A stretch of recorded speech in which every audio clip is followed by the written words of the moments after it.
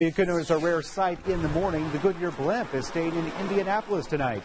It landed at the Indianapolis Regional Airport around 3.30 this afternoon as part of its Midwest summer tour. It left from Ohio this morning en route to Topeka, Kansas. The pilot tells us they have a crew of about 20 along with eight vehicles on board.